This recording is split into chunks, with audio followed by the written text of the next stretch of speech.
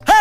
சிறுக்கி சீனி கட்டி சினுங்கி சிங்காரி அடி குத்தி நிற்கும் முன்னழகு முட்டுதுக்கி கே வி ஆனந்த் இயக்கத்தில் சூர்யா கதாநாயகன நடிக்கும் திரைப்படம் காப்பான் கிராமத்தில் இயற்கை விவசாயம் செய்து வருகிற இளைஞராக சூர்யா தோன்றுகிறார் பக்கத்து நிலங்கள் எல்லாம் காய்ந்து கிடக்க தன் நிலங்கள் மட்டும் பசுமையான புரட்சியை ஏற்படுத்தும்படி மிகச் செழிப்பாக காணப்படுகிறது. இதற்கு காரணம் இயற்கை விவசாயம்தான் என்று சூர்யா கூறுகிறார். ஆனால் திடீரென்று வில்லனாக மாறி கிராமத்தில் பதுக்கி வைத்திருக்கும் ஆயுதங்களை அழிக்கிறார். ஏனென்று பார்த்தால் இவர் மத்திய அரசின் உளவுப்படை அதிகாரியாக வருகிறார். பிரதமர் மோகன்லால் உத்தரவின்படி சூர்யா சத்தமே இல்லாமல் ஆயுதங்களை அழித்து ஒழிக்கிறார்.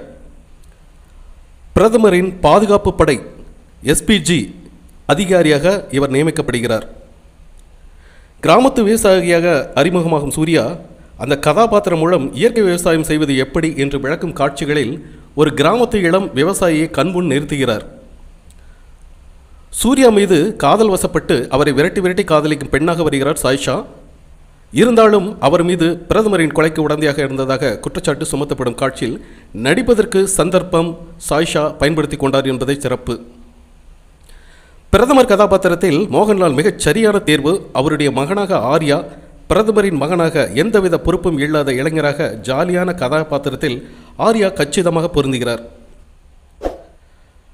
சூர்யாவின் நண்பராக சமுத்திரக்கனி ஒன்றிரண்டு காட்சிகள் வந்தாலும் தனது முத்திரையை அழுத்தமாக பதித்திருக்கிறார். எம் எஸ் பிரபுவின் ஒளிப்பதிவில் அழகான காஷ்மீருக்கு மேலும் அழகு சேர்த்து இசைக்கிறது ஆர் எஸ் ஜெயராஜின் இசை.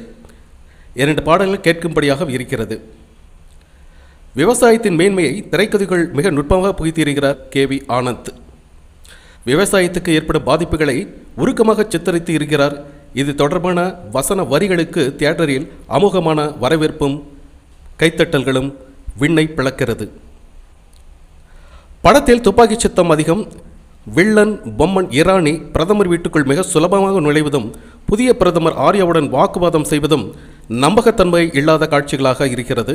ஒரே படத்துக்குள் பல்வேறு பிரச்சனைகளை புகுத்தி இருப்பது இது அதிகமான ஓவர்டோஸோ என்று நமக்கு புரிகிறது. இந்த குறைகளை தவிர்த்து பார்த்தால் இந்த படம் ஜனரஞ்சகமான விறுவிறுப்பான கதை சொல்லியிருக்கிறார் கே வி ஆனந்த். பல படங்களில் இருந்த கெட்டப்புகளை மாற்றி சூர்யா இதில் ஒரு விவசாயியாக மாறி அதில் அந்த கேரக்டருக்கு தத்ரூபமாக ஒளி விடுகிறார் சுடர் விடுகிறார் இந்த காப்பான்.